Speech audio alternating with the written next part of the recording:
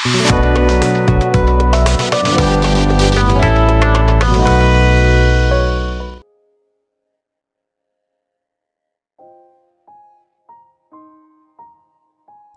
selamat pagi Bapak Ibu Saudara-saudara.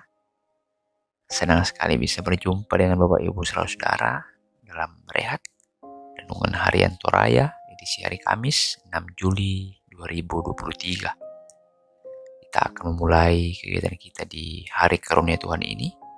Tapi sebelumnya mari kita mendasarinya dengan membaca dan mendengarkan firman Tuhan. Sebelumnya mari kita berdoa.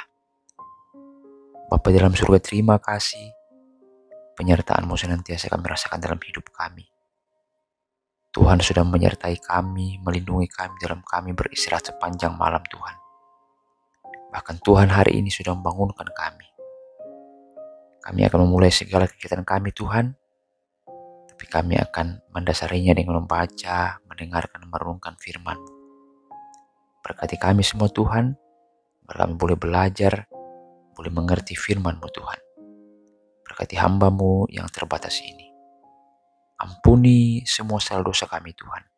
Berdoa dalam nama Tuhan Yesus. Amin.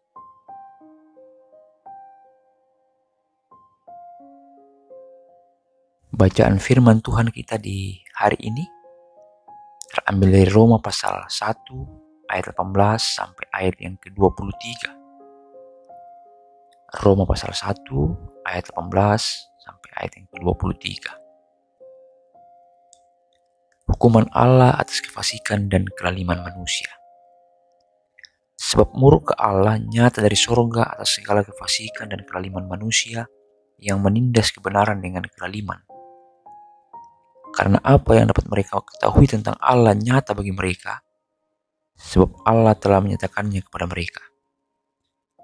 Sebab apa yang tidak nampak daripadanya, yaitu kekuatannya yang kekal dan keilahiannya dapat nampak kepada pikiran dari karyanya sejak dulu diciptakan sehingga mereka tidak dapat berdalih.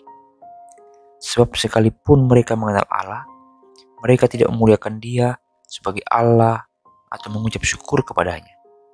Sebaliknya pikiran mereka menjadi sia-sia dan hati mereka yang bodoh menjadi gelap. Mereka berbuat seolah-olah mereka penuh hikmat, tapi mereka telah menjadi bodoh. Mereka menggantikan kemuliaan Allah yang tidak fana dengan gambaran yang mirip dengan manusia yang fana, burung-burung, binatang-binatang yang berkaki empat, atau binatang-binatang yang menjalar. Amin firman Tuhan.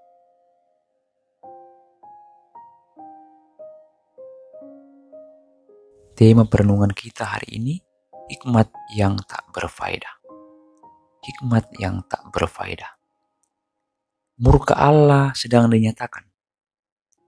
Pernyataan ini menunjukkan bahwa Allah terus bekerja dalam kehidupan manusia. Mengapa Allah murka? Bukankah Allah adalah kasih? Setiap kali dosa terjadi, saat itulah murka Allah dinyatakan. Nampak bahwa akibat dosa yang menyusahkan hidup manusia merupakan kemurkaan Allah. Kemurkaan Allah tidak menunggu satu waktu seperti nanti saat penghakiman baru terjadi. Rasul Paulus menuliskan bahwa kefasikan dan kelaliman menyebabkan Allah murka dari sorga. Kefasikan dipertontonkan melalui cara hidup yang tidak mengenal Allah, padahal Allah telah menyatakan dirinya. Cara hidup dalam kefasikan nyata melalui hidup yang tidak memuliakan Allah, hidup yang tidak mengucap syukur, memenuhi pikiran dan hati dengan hal yang sia-sia atau kebodohan, berbuat seolah-olah penuh hikmat, padahal menjadi bodoh dan mengganti kemuliaan Allah dengan hal yang fana. Manusia hanya mementingkan keinginan sendiri, bukan keinginan Allah. Ya, manusia yang berdosa tidak dapat tahan terhadap kebenaran, lalu menindas kebenaran dengan kelaliman. Berbuat seolah-olah penuh hikmat, padahal hikmat itu tidak ada gunanya atau tidak berfaedah, sebab tidak mendatangkan pengenalan yang benar tentang Allah, tapi justru membuat bodoh. Akibatnya, semakin melakukan dosa dan semakin mematikan kesadaran akan kebenaran Allah di dalam hati yang membawa kepada semakin munculnya berbagai bentuk kejahatan. Dan akhirnya Tuhan terus menerus dinyatakan. Karena itulah manusia membutuhkan keselamatan dari surga. Tapi manusia harus menunjukkan pertobatan melalui hikmat yang benar menurut kehendaknya. Amin. Firman Tuhan. Bapak, Ibu, Saudara-saudara sekalian, mari kita berdoa. Terima kasih Allah Bapa, Engkau sudah mencipta kami. Terima kasih Tuhan Yesus, Engkau sudah menebus dosa kami. Terima kasih Roh Kudus, Engkau sudah mewahyukan kebenaran kepada kami. Terima kasih Allah Tritunggal, firman-Mu kembali Engkau perdengarkan kepada kami pada hari ini. Firman-Mu hari ini mengajar kami Tuhan, agar kami boleh berhikmat, menggunakan pikiran, akal budi, bahkan hidup kami dengan hal-hal yang berfaedah dan hal-hal yang berguna, bukan hal-hal yang justru tidak memuliakan Tuhan.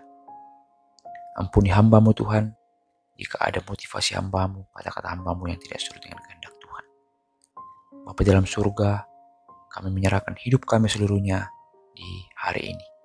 Kami menyerahkan pekerjaan kami, pendidikan kami, kesehatan kami.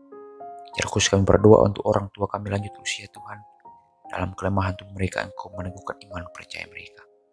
Saudara-saudara kami, keluarga kami, orang tua kami, anak-anak kami yang dalam kelemahan tubuh, engkau boleh sembuhkan. Yang berduka, engkau hiburkan. Anak-anak muda kami dalam perjalanan masa muda mereka Tuhan. Engkau bimbing mereka. Yang mencari pasangan hidup, Engkau berikan pilihan yang terbaik pada mereka. Yang mencari pekerjaan, Engkau tunjukkan Tuhan.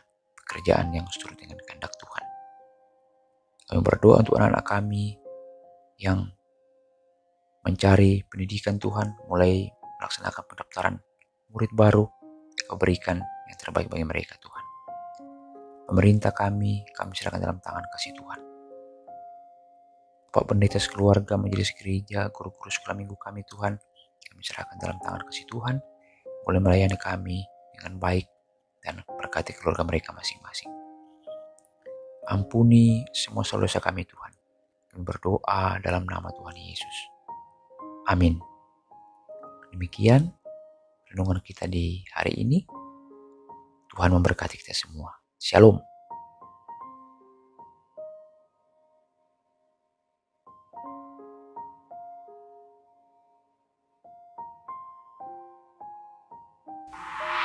Thank